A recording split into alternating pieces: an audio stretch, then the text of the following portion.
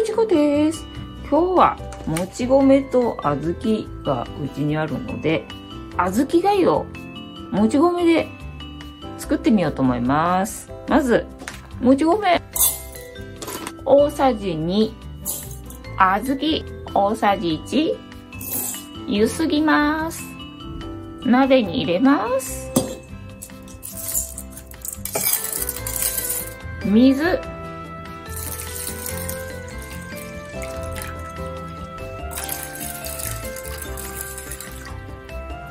2カップ入れました。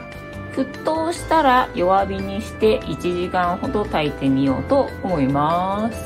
はい沸騰してきたので弱火にして1時間ほど炊いていこうと思います。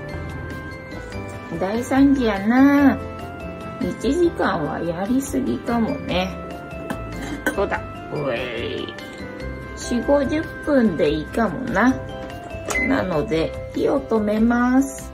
はい。ではちょっと味見してみましょうか。おー早めに気づいてよかったね。危なかった。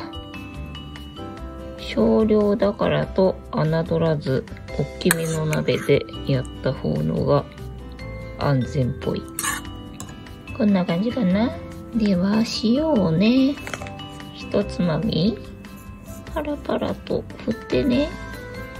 はい。ではいただきます。美味しそうだな。体が元気になりそう。うん。あちじゃじじうん。うまいな。美味しゅうございます。なので1時間はちょっとやりすぎ4 5 0分程度でいいと思います、まあ、40分でちょっと様子を見て足りないようだったら50分みたいな感じで弱火でゆっくり火を通してやれば簡単に小豆がゆが出来上がります。おかゆってどんくらい水使えばいいのかなって結構わかんないよね。参考にしていただけたらいいんじゃないでしょうかいつも見てくれてありがとうございます。チャンネル登録、グッドボタンよろしくお願いいたします。ではまたバイなら